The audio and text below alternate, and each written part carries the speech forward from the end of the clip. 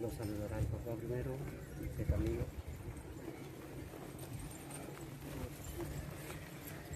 Amigo, compañero, por la causa.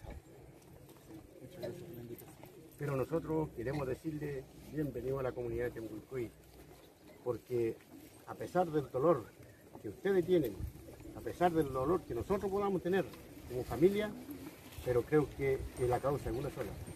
El sistema, el Estado, nos quiere asesinar. Por lo tanto, yo quiero felicitarlo a usted por la valentía que ha tenido y por la forma de decirle al Estado que él ha asesinado a usted. Nosotros no. ¿Por qué tienen que traer gente de allá y venir a involucrarlo acá para después decir, mira, allá fue? No, compañero. Nosotros somos mapuches, nosotros somos limpios, tenemos nuestros corazones, pero el sistema lo quiere engañar, lo quiere asesinar. Así que por lo tanto, bienvenido a la comunidad de Temulcuy y mucha fuerza para que pueda conseguir justicia para su hermano.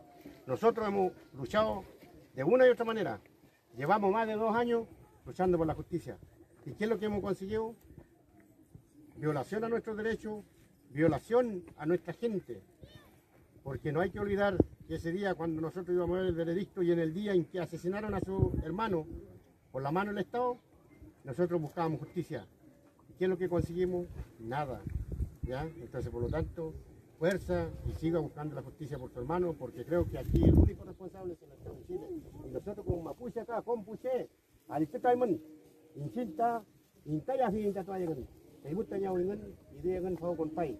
Wa, lungo yang yain, welu, kembe lungo yang yain to mangan. Yoho!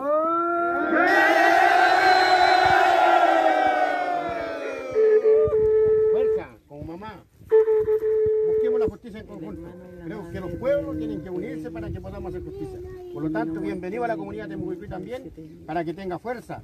La fuerza que tenemos nosotros como mapuche, la fuerza de la tierra, quiero que también lo podamos compartir entre ustedes y nosotros. Porque